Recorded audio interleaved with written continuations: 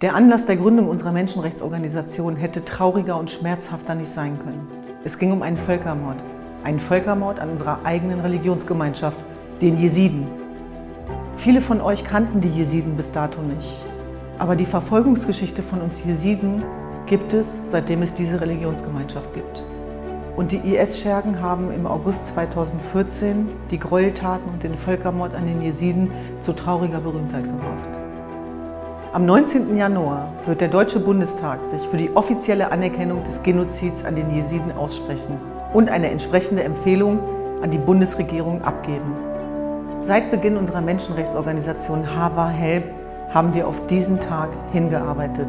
Und wir können nicht in Worte fassen, von was für einer hohen, symbolischen und inhaltlichen Tragweite die Anerkennung des Völkermords an den Jesiden durch die deutsche Bundesregierung für uns ist wird ein Teil meines Schmerzes genommen, weil all die leidenden Menschen nicht vergessen werden und all die verflossenen Tränen kein Meer aus Hoffnungslosigkeit bilden müssen, sondern ein Regen aus Überlebenswillen.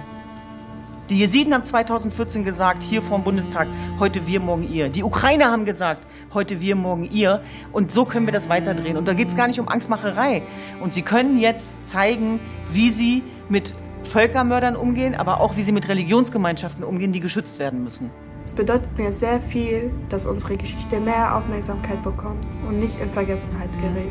Da ich noch Familie in der Gefangenschaft habe und ich es für wichtig halte, dass man die Gerechtigkeit wiederherstellt für die Menschen, die immer noch in der Gefangenschaft sind, für die Menschen, die gestorben sind und für die, die immer noch um ihr Leben kämpfen.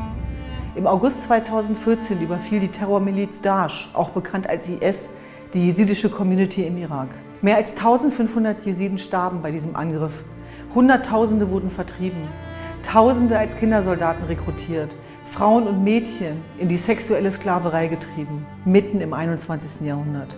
Und auch wenn der Anlass noch so traurig ist und immer noch so viele Menschen in IS-Gefangenschaft sind und der Völkermord nachwirkt, möchte ich trotzdem die Gelegenheit nutzen, Danke zu sagen und vielleicht auch zu zeigen, dass es sich lohnt, weiterzukämpfen. Und dass auch der Weg der Gerechtigkeit ein Marathonlauf ist, ein sehr langer ist, aber dass es sich lohnt, daran festzuhalten. Wir danken dem Petenten Goda Al-Qaidi und all denjenigen, die dazu beigetragen haben, denn sowas wird von vielen Menschen getragen, auf breiten Schultern. Ich kann kaum in Worte fassen, wie bedeutsam dies für alle Jesiden, jesidischen Gemeinschaften auf der Welt ist. Diese Anerkennung bedeutet für mich einen wichtigen Schritt in Richtung Gerechtigkeit. Wenn ich das kurz und knapp sagen müsste, dann würde ich sagen, das ist wirklich ein extrem wichtiger Punkt für die Unvergessenheit des Genozids an uns Jesiden gewesen. Es kann aber nur ein erster Schritt in Richtung Gerechtigkeit sein.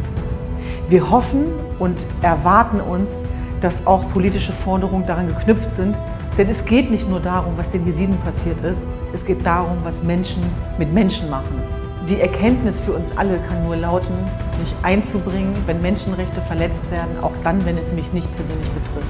Es geht um die Einhaltung universeller Menschenrechte. Und es geht nicht darum, dass Jesiden für Jesiden, Ukrainer für Ukrainer einstehen, sondern es geht darum, dass die Welt sich einsetzt für vulnerable Gruppen, Minderheiten, Diskriminierung ausgesetzt sind.